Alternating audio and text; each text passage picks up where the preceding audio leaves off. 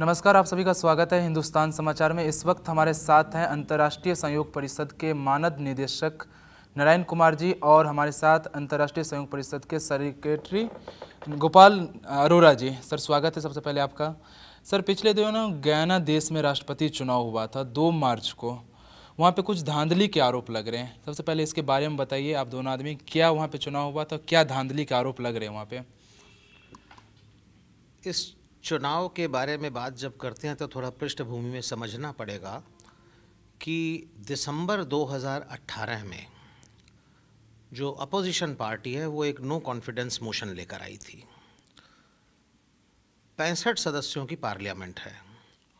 वो no confidence motion तैतीस बत्तीस से पास हुआ। तो जिसका मतलब ये हुआ कि जो वहाँ की जो रूलिंग पार्टी थी, जिसके प्रेसिडेंट जो है वो ग्रैंगर हैं, वो वोट आउट हो गई थी। लेकिन उन्होंने इस फैसले को माना नहीं। फिर एक लंबी कानूनी लड़ाई चली। गयाना की हाई कोर्ट के बाद में कैरेबियन कोर्ट ऑफ़ जस्टिस तक वो मामला गया। और जून 2019 के अंदर जो है कैरेबियन कोर्ट ऑफ़ जस्टिस ने ये रूल किया कि no confidence motion was validly passed तो फिर उन्होंने ऑर्डर किया कि भाई आप एक नया चेयरमैन गयाना इलेक्शन कमीशन का, आप अपॉइंट करें मिल के दोनों पार्टियाँ अपोजिशन और रूलिंग पार्टी जो वहाँ के कानून का ये प्रावधान है। तो पुराने चेयरमैन की अपॉइंटमेंट भी उन्होंने अनकॉन्स्टिट्यूशनल कही। फिर जब नया चेयरमैन आया तो उसके बाद उन्होंने कहा कि हमको इलेक्टोरल रूल्स को जो है वो रिवाइज़ करने के लिए समय चाहिए। तो वो सब करते करते मार्च 2020 आ गया। तो कुल मिलाकर पहली बात तो ये समझने की है कि जो सरकार दिसंबर 2018 में कॉन्फिडेंस लूज़ कर चुकी थी, वो लगभग पंद्रह महीने जो है, वो as a caretaker government चलती रही। इस पृष्ठभूमि के बाद में गयाना के अंदर जब चुनाव हुए तो उसका काउंटिंग प्रोसेस भी एक कानून के तहत जो है, वो पूरा निर्धारित है। टेबुलेशन और काउंटिंग प्रोसेस तो ये जो अभी का जो विवाद है, वो उस काउंटिंग और टेबुलेशन प्रोसेस के ऊपर है।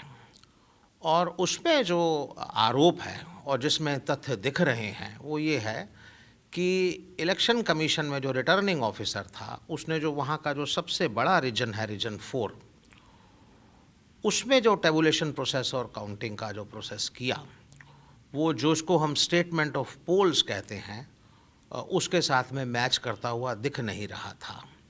और ऐसा आरोप लगता है कि जो बाकी नौ रीजन्स हैं, उसमें ये जो अपोजिशन पार्टी भरत जगदेव की जो है पीपीपी वो जीत रही थी।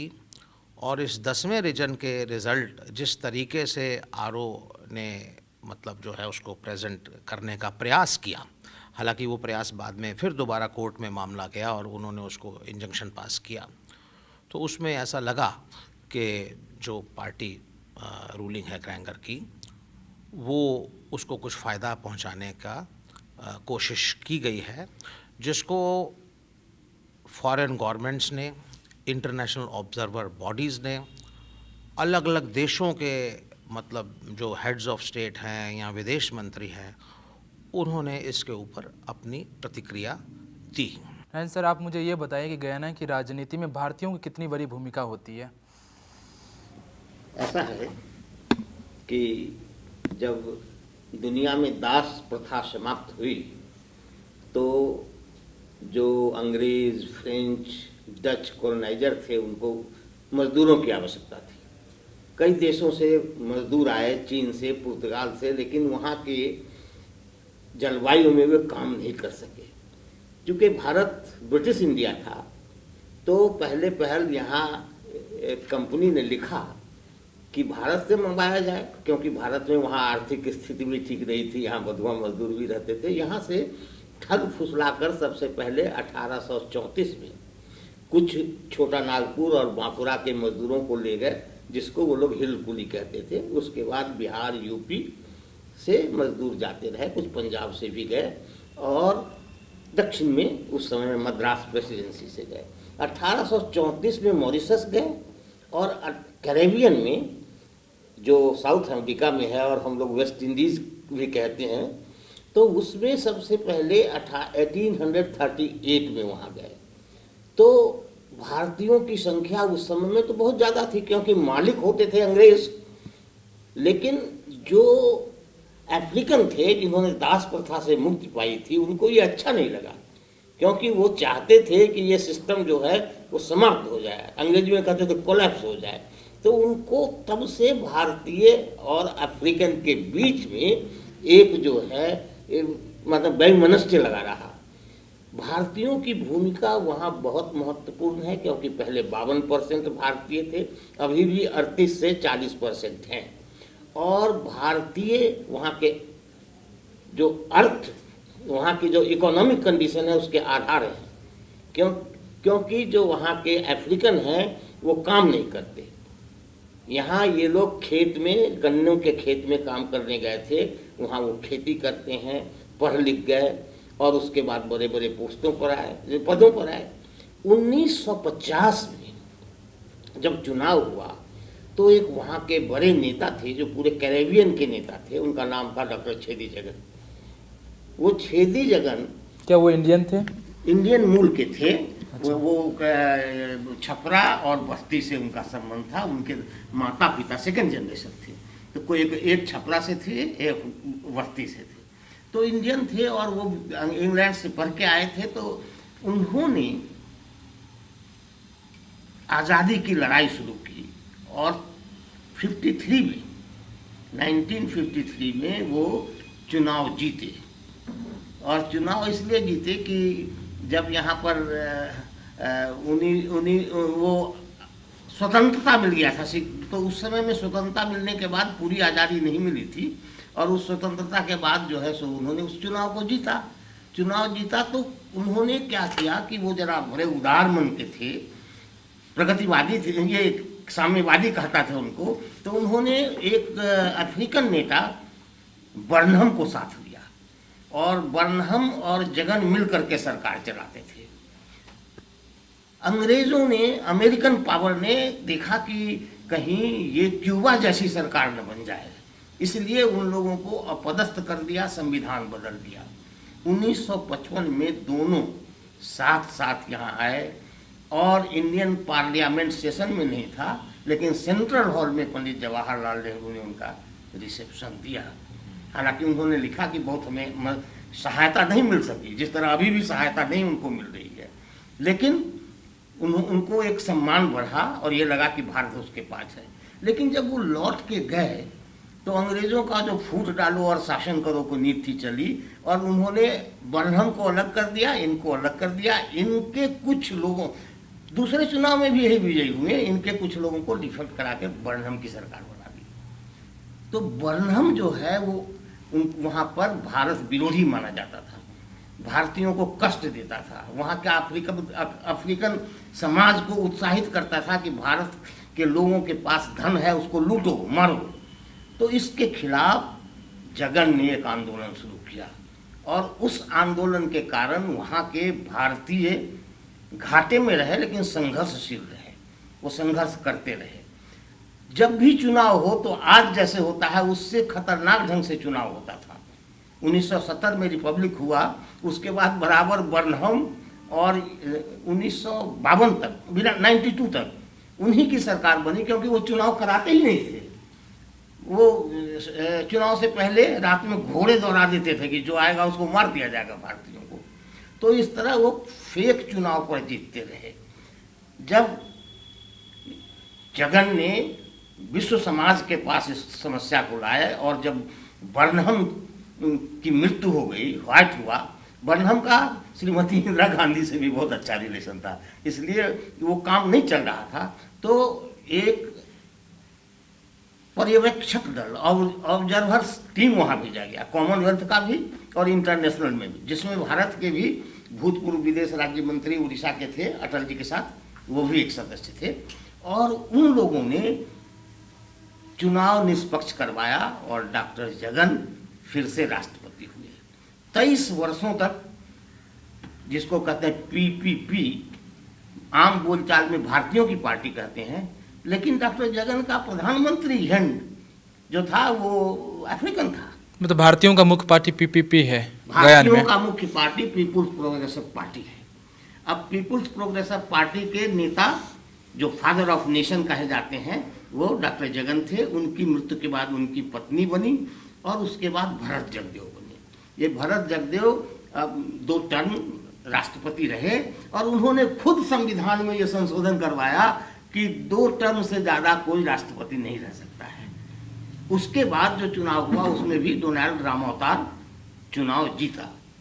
लेकिन उसके सरकार पर इसी तरह डिफेक्शन वगैरह कराने की कोशिश की तो उसने मर्यादा पूर्वक खुद मिड टर्म पोल की घोषणा कर दी। ये पंद्रह में।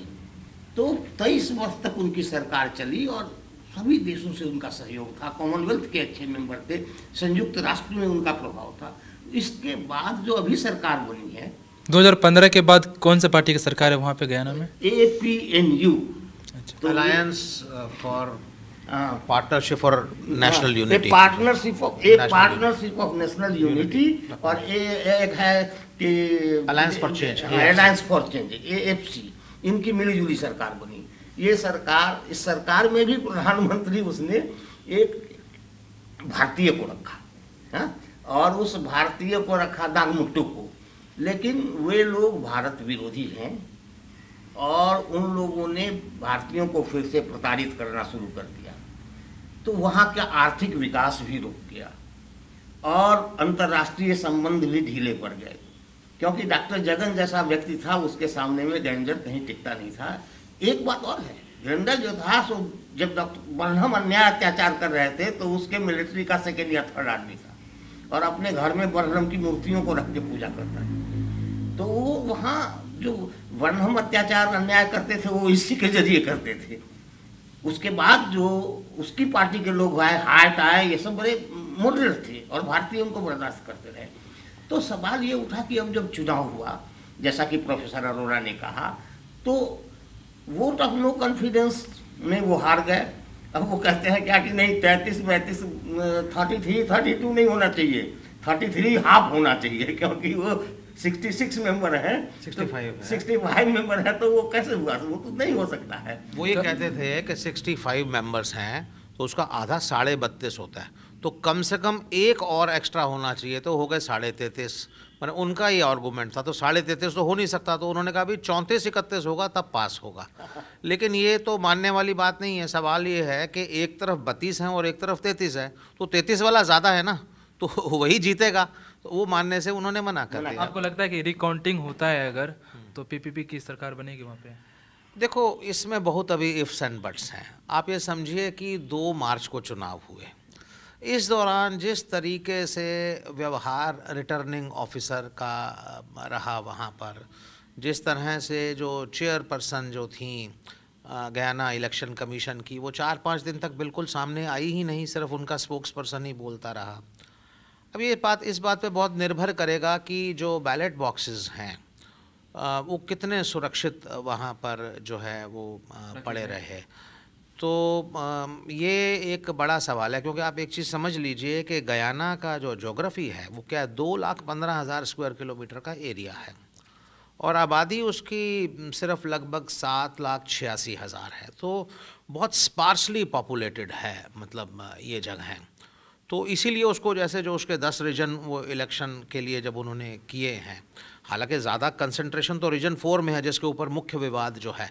बाकी नौ के बारे में इतना विवाद नहीं है, क्योंकि जो रीजन फोर है, वो ऑलमोस्ट पैंतालीस परसेंट टोटल इलेक्टोरेट्स जो हैं, उसी रीजन फोर के अंदर हैं। तो अगर आप मेरे से सवाल पूछते हैं कि क्या वो पार्टी जीत जाएगी इसमें सबसे बड़ा इफ़ ये है कि क्या अब जो रिकाउंटिंग हो रहा है वो जो बैलेट्स जिस तरीके से मतलब डाले गए हैं और उसको सही कानून के मुताबिक जो है उसकी गणना और टेबुलेशन जो है वो होता है कि नहीं होता। अब ये सारे अंतर्राष्ट्रीय समुदाय की नज़र जो है वो इसके ऊपर है। तो आप लोग क्या चाहते हैं? नहीं हम तो ये चाहते हैं कि जो लोकतंत्र है देखिए लोकतंत्र में पीपल्स विल होता है। तो जो गयाना के लोग चाहते हैं वो हम चाहते हैं।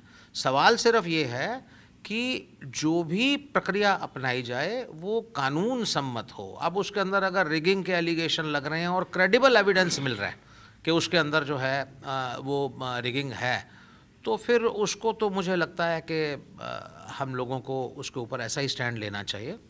कि नियम के मुताबिक कानून के मुताबिक जो भी पार्टी जो वहाँ के लोग चाहते हैं वो सरकार आनी चाहिए इसमें क्या दिक्कत है? ऐसा है कि चुनाव गणना की की, की जो पद्धति है वहाँ वो बिल्कुल पुख्ता है। तो हर एक रीजन का ए, एक से दस में चार को छोड़कर सबके वोट काउंट करके सबके सिग्नेचर लिए गए और उसके बाद उसमें ताला लगाया गया उसकी कॉपी है यहाँ का भी है। इसके मुताबिक भारत, जो पीपुल्स प्रोग्रेसिव पार्टी है, वही उसी को विजयी होना है। लेकिन यही सवाल जब इंटरनेशनल, वहाँ के पाँच देशों के राजदूत ने जाकर के जो एक साहसिक कदम है, राष्ट्रपति से मुलाकात की और कहा कि आप यहाँ प्रजातंत्र का गला घुट रहे हैं। लेकिन उन्होंने इस पर ध्यान नहीं दिया। वहाँ के इंटरनेशनल ऑब्जर्वर्स, कॉमनवेल्थ वाले सभी ने इस पर आपत्ति की। तो अगर जानबूझ करके वो ये करते हैं तो कुछ भी कर सकते हैं। क्योंकि अभी ये किया कि एक स्प्रेडशीट ले आए और कहा कि ये है रिज़ल्ट और जो असली है, उसको छोड़ दिया। तो इससे क्या होता है कि उनका ये इंटेंशन होता है कि वो नहीं होने देंगे। और इसलिए दो दिनों से कैरी कम ऑब्जर्वर आए हुए हैं और गिनती शुरू नहीं करवा रहे हैं। लेकिन उनको ये चेतावनी दे दी गई है। कि अगर आप ऐसा करेंगे तो आप आइसोलेशन में चले जाएँगे। और अमेरिका ने कहा है कि you will have to face consequences मतलब उन पर आर्थिक सैंक्शन भी लगाया जा सकता है। और उसके उस उस स्थिति में वो सरकार नहीं चला पाएँगे। आप लोग चाहते हैं कि भारत सरकार इसमें हस्तक्षेप करे कुछ? हम चाहते हैं। और हमने अपनी ओर से दिया है क्योंकि जब यूएसए के विदेश मंत्री सेक्रेटरी ऑफ़ स्टेट कर रहे हैं, जब इंग्लैंड के कर रहे हैं, जब ये कनाडा के कर रहे हैं एबीसीएस यूरोपियन यूनियन कर रहा है, और भी कई देश कर रहे हैं तो हमारे तो अपने लोग वहाँ हैं। और हम चाहते हैं कि भारत सरकार डेमोक्रेटिक प्रोसेस कहीं भी दुनिया में हो, वहाँ हमें समर्थन का अगर वो जीत रहा है, दूसरी पार्टी जीत रहा है, भारत सरकार जीतने दे। लेकिन जब भारत सरकार अफ्रीकन के हित में साउथ अफ्रीका में लड़ाई लड़ सकती है तो अपने लोगों के लिए अपना लोग हैं हमारे अपने हैं तो भारतवंशी हैं उनको हमने वो हमारे तरह नागरिक है ओवरसीज इंडियन कार्ड उसमें दिया हुआ है वो ओवरसीज इंडियन सिटीजन दिया हुआ है। तो उसके प्रति जो है मतलब उपेक्षा नहीं है भारत सरकार की ये उदासीनता है। उसके कुछ और कारण हो सकते हैं मैं नहीं कहूँगा कि भारत सरकार के मन में उसके प्रति दर्द नहीं है। भारत सरकार को उतना ही दर्द है जितना हमको आपको है।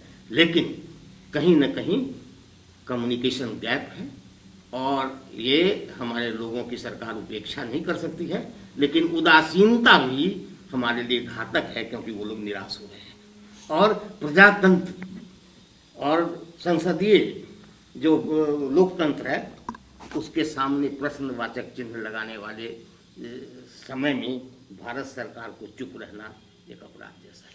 आप दोनों आदमी से मेरा एक आखिरी सवाल है कि गयाना देश भारत और भारतीयों के लिए कितना महत्वपूर्ण है?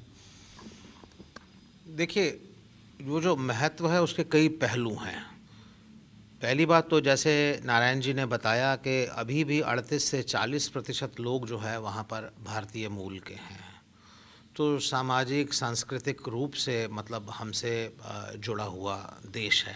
आर्थिक तो, रूप से आर्थिक रूप से देखिए इसको बात आप समझ लीजिए कि गयाना बहुत डेवलप्ड कंट्री है नहीं लेकिन उसमें पोटेंशियल बहुत है। अभी कुछ ही वर्ष पहले वहाँ पर जो तेल के बहुत बड़े भंडार मिले हैं और वो भंडार उसकी क्षमता जो है वो इतनी है कि अगले दस बरस के अंदर गयाना जो है, वर्ल्ड के जो top ten oil producing countries के अंदर आ सकता है। आप हैरान हो जाएँगे ये जान के कि उसकी जीडीपी में ग्रोथ जो है, अब तो अभी तो तेल के रेट कम हैं, लेकिन जिस समय हम उसको सत्तर अस्सी डॉलर के करीब अगर हम तेल के डॉलर के रेट माने तो जीडीपी में ग्रोथ रेट उसका even up to 80 percent per annum तक मतलब जो है, अपेक्षित है।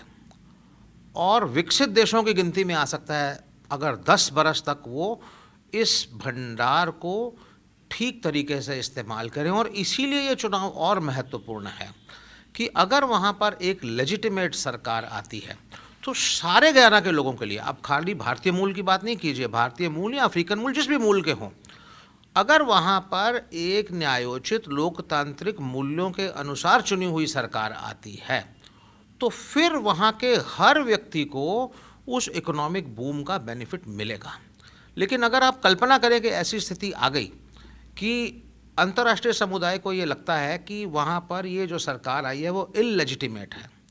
वो आइसोलेशन उसको फेस करना पड़ता है। सेंक्शंस अगर उसको फेस करने पड़ते हैं तो आप सोचिए कि वो जो सात लाख छियासी हज़ार लोग हैं तो उसमें खाली भारतीय नहीं सफ़र करेंगे, उसमें सब सफ़र करेंगे। तो इसलिए मुझे लगता है कि जब आपने पहला भी सवाल पूछा कि भारत सरकार का तो वहाँ के लोगों की भी अपेक्षा है कि भारत सरकार भी उसके बारे में कुछ बोले करके। ये मतलब आपके सवाल का जवाब है। झा साहब ये इस बहुत ही अच्छा सवाल है। क्योंकि पहला तो ये है कि भारत की कितनी चिंता है। मेरी माँ है मैं आईएएस ऑफिसर हो गया हूँ और मेरा दूसरा भाई खेत में काम करता है। चाहे आर्थिक स्थिति दोनों हो माँ के लिए सभी महत्वपूर्ण हैं, प्यारे हैं।